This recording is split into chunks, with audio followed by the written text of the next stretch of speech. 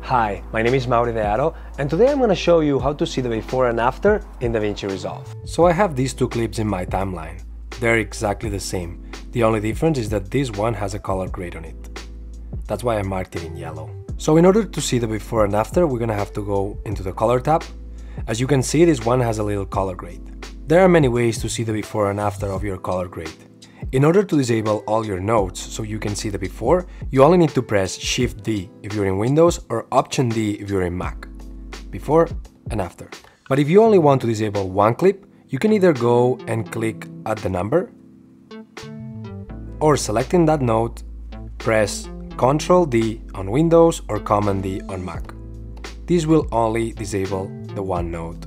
So this is how you see the before and after while you're doing the color grade. But if you want to export the video showing the before and after, then what you have to do is go into the editing tab, make sure you duplicate the video, and what I'm gonna do now is I'm gonna place this video right on top. As you can see, they're identical. And then I'm gonna trim the colored one all the way here in the half.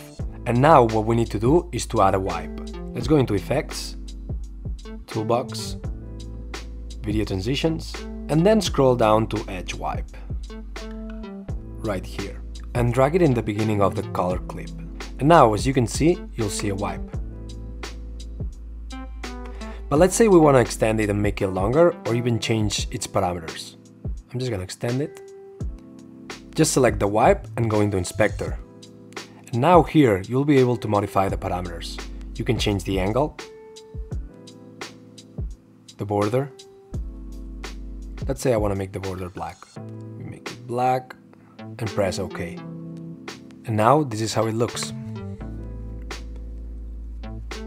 And this is how easy it is to show the before and after in DaVinci Resolve.